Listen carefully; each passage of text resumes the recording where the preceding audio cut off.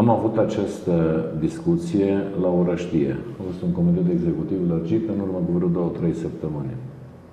Și am stabilit cu toții că la alegerile din 2009, în 2009 au fost alegeri prezidențiale. În 2009. Da. Alegerile din 2009, uh, Mircea Joana, care era candidatul nostru la președinție, a pierdut aceste alegeri din, și din cauza, ca să nu spun și din cauza faptului că unii lideri ai partidului nu și-au s-au concentrat 100% asupra campaniei prezidențiale, ci s-au concentrat și asupra succesorului lui Mircea Geană.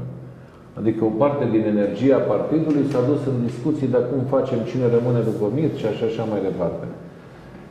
Și am stabilit cu toții, ca să nu repetăm această greșeală, toată energia partidului și a tuturor liderilor săi se va duce exclusiv pe susținerea candidatului la președinție, rezolvăm această problemă în noiembrie și din noiembrie până în februarie, când s-a stabilit a fi congresul partidului, avem timp să tot discutăm unii cu alții cine vrea, cine poate, pe cine susținem, cine nu susținem.